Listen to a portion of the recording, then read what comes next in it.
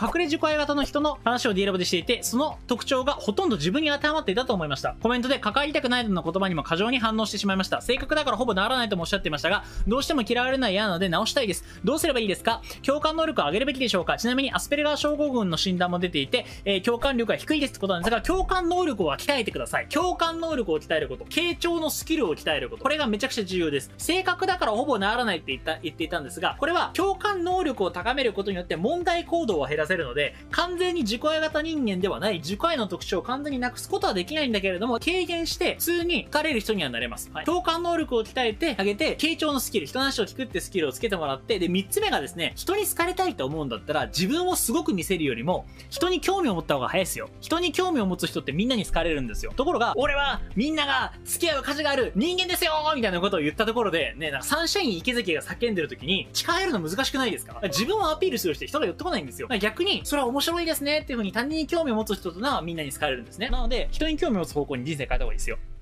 切り抜きいかがだったでしょうかこの動画の概要欄の方から今なら僕が作った D ラボ動画配信サービスですね。の無料の体験リンクと僕のオーディオブックが無料で弾けるリンク入ってます。よかったらぜひチェックしてみてください。さらにチャンネル登録の方もお忘れなく。それでは、バイバイ。